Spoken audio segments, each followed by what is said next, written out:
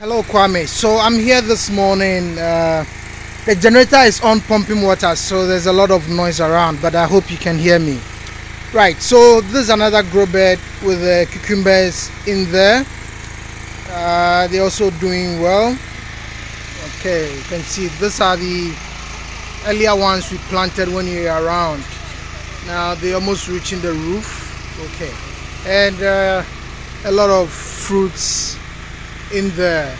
Okay so at least this one is doing very well. Now there's another grow bed with same cucumbers and some mint. They are doing well. Okay so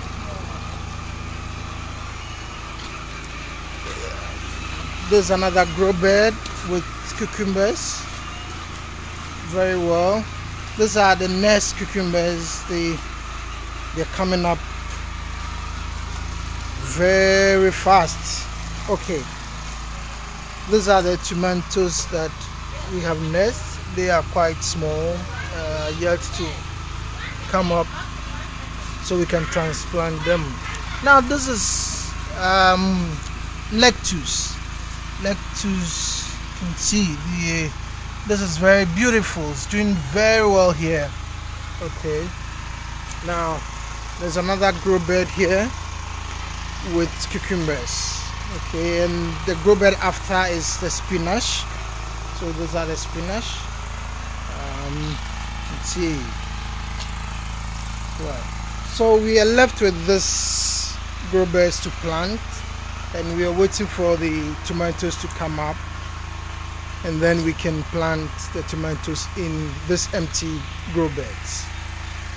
Unfortunately i mean light still goes off at night so Gambles put it off and then restart it during the day.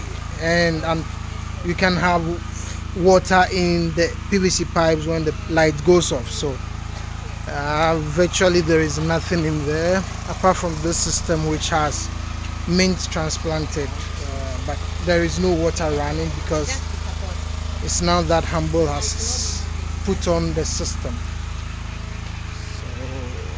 So, so that is one negative side of not having power constantly.